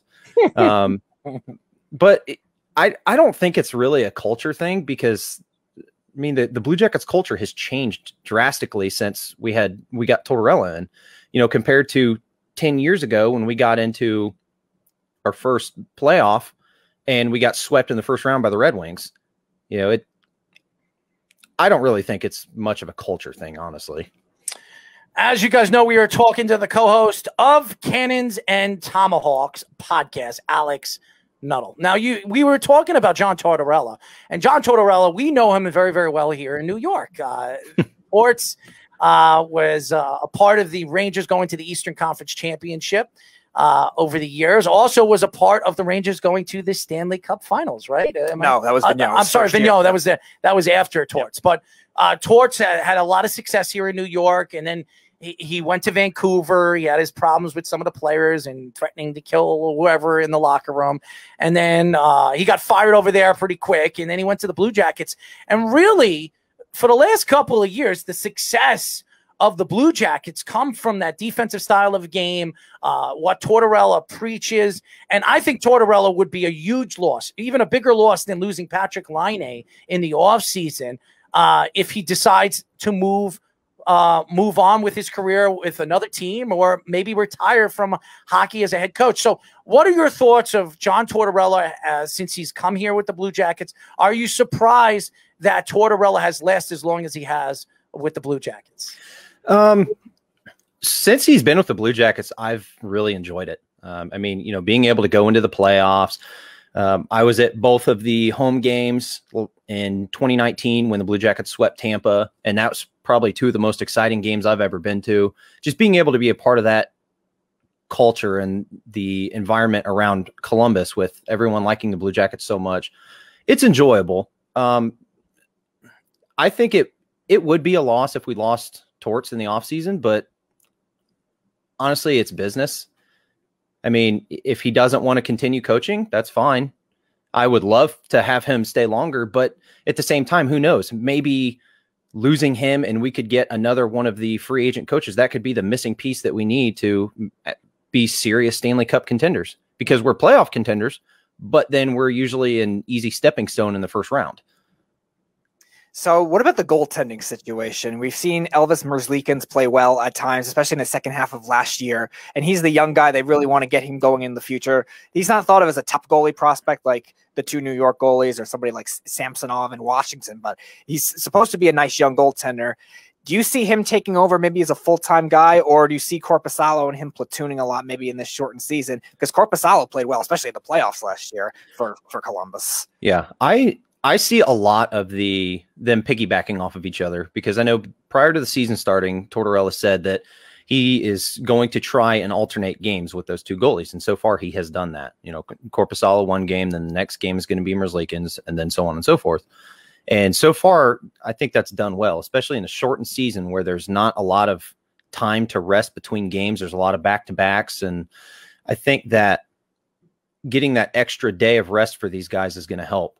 Uh, in in the long run, I between the two, I don't know. I like both of them a lot. In my opinion, Korpisalo is the more consistent goalie. He's very quiet, flies under the radar, but he's very very consistent. But I think Elvis has a higher ceiling. Um, you know, I think he could be an all star, like Carey Price type guy if he could get his act together. But he's he's not there yet. So honestly, I'm not sure. Especially, you know, both of their contracts are up after next season, and they're both going to be unrestricted free agents. So we could lose both of them. Honestly, I don't think that's going to happen. But I'm I'm not sure. I I really don't know. That's the one thing that I'm I'm confused on. But it's there's a cloud of doubt over Columbus in regards to the goaltending in the future. I mean, we have two solid guys. As you guys know, we are talking to the co-host of Cannons and Tomahawks podcast, Alex Nuttle. Alex, when you look at the Discover Central right now, and you look at the division, you have Carolina right now in the lead and se- with seven games in, uh, six and one. Florida playing absolutely unbelievable hockey, maybe because of their coach, but the, this team has had so much talent over the years. They've been very exciting offensively, very, very weak defensively, and uh, over the years they've had good goaltending. Uh, Dallas, uh, what they did last year, being that they're five and one. Tampa, the Stanley Cup champions, and then Columbus, who's four four. Uh, I mean, four, four, and three right now with 11 points. Are you surprised that this division is so close and bunched together? So far, yeah. I think, my opinion, the Panthers are the team that's coming out of nowhere. Honestly, I knew Tampa would do well. I knew Carolina would do well, and especially Dallas. I figured they would do well because they were in the Stanley Cup last year. But you know, especially with Florida, that's kind of throwing me off. Um, so far with the standings, it's it's just it doesn't look right because Florida's been at the bottom for so long, and now they're in second place, and they're playing really good. Um, it's surprising, but I think for the most part, it's the standings as of now is pretty expected. All right, so now dealing with like the league as a whole, with the like the strategy of this type of season, fifty-six game season, also you could also uh, relay it back to the Blue Jackets too, because every team's structured differently. Strategy-wise, what do you think that are the, some of the bigger differences having to play like the two-game or three-game bunches? You see a lot of the times with the schedule now, playing back-to-backs, not necessarily more often, but little more commonly in the beginning of the season in comparison to a regular 82 game season where they usually just play every other day. So, do you think that affects the strategy a lot more? And if so, how? Oh, absolutely. I think the biggest thing is goaltending. Um, I know talking to Kyle earlier, you guys said that, or I think it he said that a lot of it's you know right a goalie. And in my opinion, I I- I respectfully disagree because especially with if you have two good goaltenders, a good tandem, Mm-hmm. use both of them. That way, you're not overworking one guy and letting one guy sit cold. I agree. But the issue with that is then you have situations with teams like Chicago where they have Kevin Lankinen, who's on fire right now, and he has been playing almost every single game. And then Malcolm Subban is sitting on the bench, you know, doing who knows what. So it's one of those things that, especially with goaltending, each team is going to be playing that differently. But I think it's you need to make sure you're not overworking a goalie because then, you know, if you're overplaying Lankinen and he gets hurt, now what do you do? You're going to play Subban and have more goals scored on you. um, I I like the addition of the taxi squad this year. Uh, I know we, they kind of had to do it, especially with all the all of the COVID precautions and protocols. Mhm. But I do like the fact that you know they're traveling with the team, they're practicing with the team, so it makes that quick and seamless transition of oh well, we had one guy go on COVID protocol. All right, so we have to bring a guy up from the taxi squad. So I think a lot of that is good in terms of being able to manage your depth and your workload for the guys, especially if you have one guy who's playing constantly. And if he gets bruised up one game and you have a back to back, or you can take him out and let him get an extra day of rest. Um, it even with the salary cap, you know, they're having to manage the salary cap all while doing all this at the same time. So, especially in the shortened season, there's a lot of different things that they have to focus on, especially with you know the goalies and having making sure you have enough defensemen enough forwards to be able to fulfill what you need to do to get to the playoffs and ultimately win the cup. Now, Alex, when you you look at the Blue Jackets right now, and and again, uh, the playoffs are so messed up. I, I don't like how uh, Gary Bettman. I love what he did with the round robin last year. Going to, I think they had it all right. I think Gary Bettman absolutely nailed the playoffs. Uh, before before you can get into the playoffs, you have to get through the round robin. Once you get into the round robin, you make the playoffs, and and really the top what four or five seeds make it automatically. What I what I don't like this year is in each division, three teams make it, and there's one wild card team that can make it out of each uh, of one division or two divisions. So what throws me off with this is over the years, you know, there's the Metropolitan Division. There's four divisions. Now you have all these divisions, and you can only get there's only three teams out of each division that can make it, and maybe one or two wild card teams. Do you like the the structure of this year's um, um, division setup and and and what Gary Bettman did for the NHL, or do you absolutely can't stand it and you think Gary Bettman's trying to rework the wheel and try to change what the NHL isn't? Um, structure, simply put, I hate it.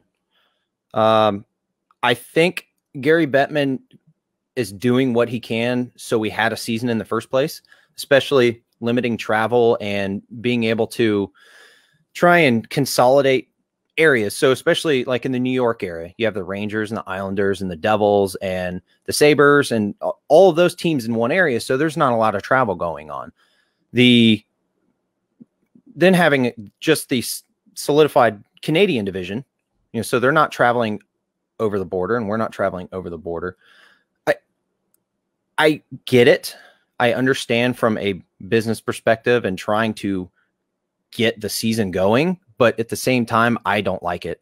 I mean, the one thing that I like that I've never understood is how the Blue Jackets and Detroit. I mean, we haven't been in the same division for a handful of years. Why, you know, there feels like they're 10 minutes away.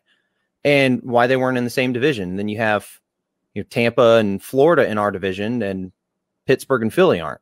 It doesn't make sense. I mean, the East is by far probably the best division by out of everybody, but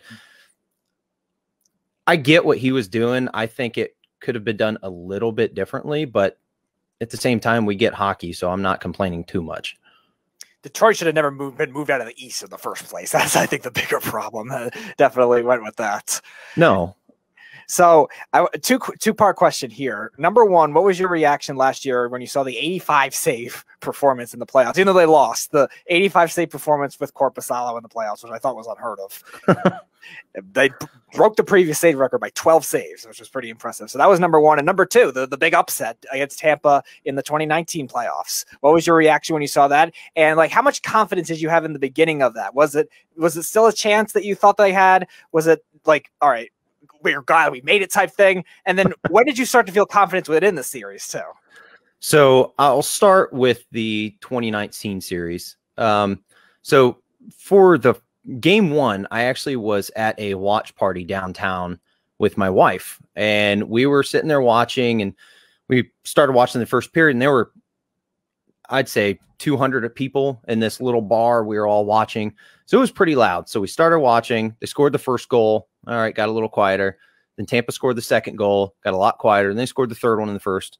Okay, well, no one's talking at this point, and everyone is just getting alcohol. Okay, well, great. This is going to be terrible.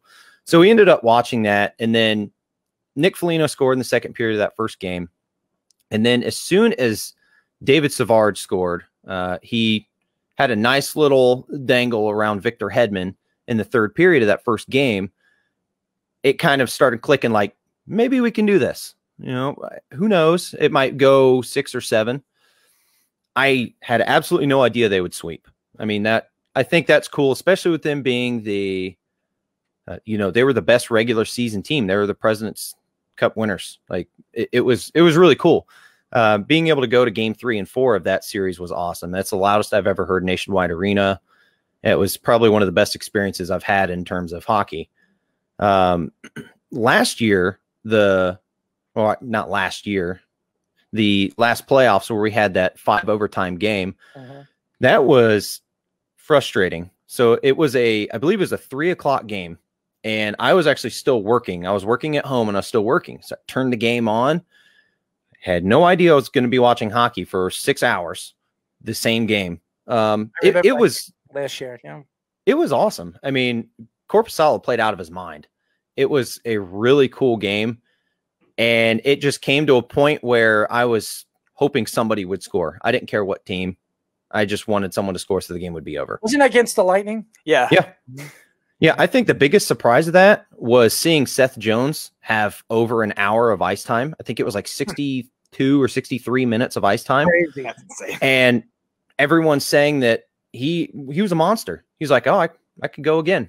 I mean, we could continue playing this right now. It it just blows my mind to see how much ice time that man had, and then how much work Korpisalo did, and he looked cool as a cucumber. Like nothing phased him in the world.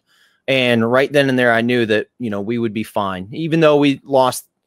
Uh, we won the next game and then lost three more. That's fine, but you know, I going into last year, the biggest issue was our goaltending. We had no idea what was going to happen, and especially after that game, I felt very confident. I felt fine with having uh, Corpy and Elvis.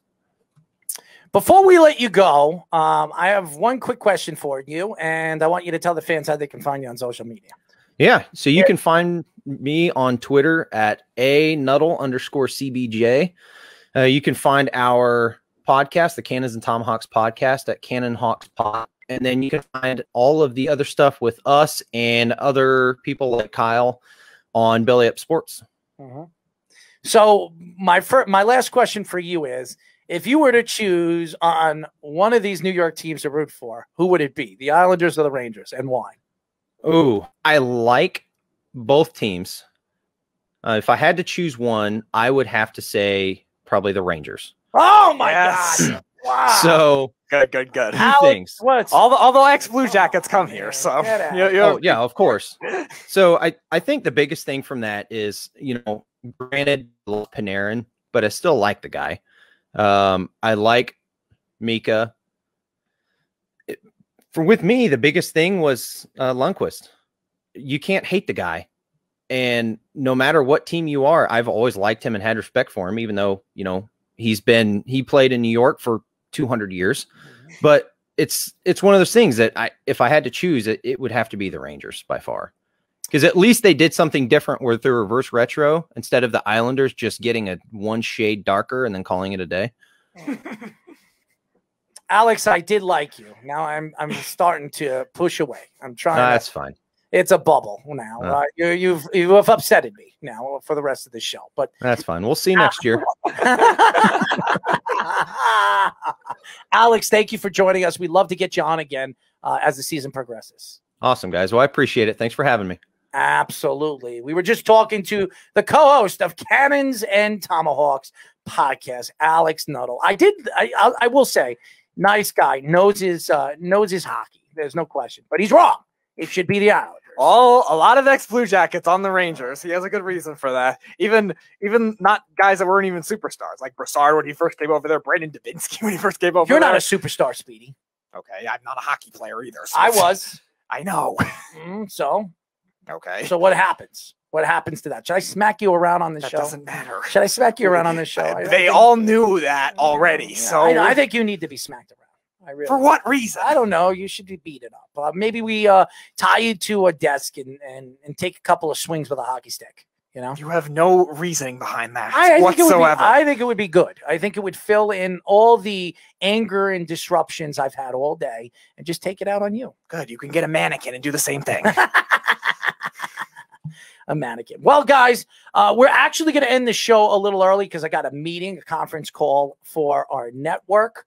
So uh, we will be back next week. Uh, stay tuned. Listen to the Weekend Crunch on 103.9, the LI News Radio Network FM dial here in Long Island. If you're based out of Long Island, if not, you can check it out by going to uh, iHeartRadio, LI News Radio. You can listen to the show on Saturday night at seven, you know, seven to nine p.m. on the FM dial.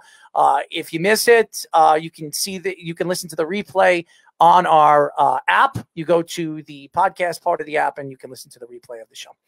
Um, uh, I'd like to thank Alex uh, Nuttle for joining us, Kyle Hall for joining us, uh, the Beef calling up the show, all the fans that stay tuned and listen to us every single week. Shout out to the hit list this morning. Uh, Austin and uh, Jared show, a great, great show. We have a great lineup of great shows throughout our network. So uh, stay tuned and listen to all the shows as we move forward with the network.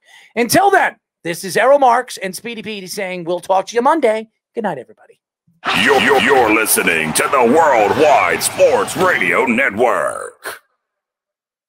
Edward Lehman has been a trusted insurance advisor for over 16 years with insurance solutions for auto, home, commercial, life, and retirement. He's located at 54 Sunnyside Boulevard, Suite H in Plainview. That's just 1,000 feet south of 495. Local agent, local advice. The time to think about insurance is before you need it. So do yourself a favor and before you pay your next insurance bill, give Ed and his team a call 516 935 3900 or visit them online at www.allstate.com forward slash EL. Edward H. Lehman Insurance is your trusted insurance advisor.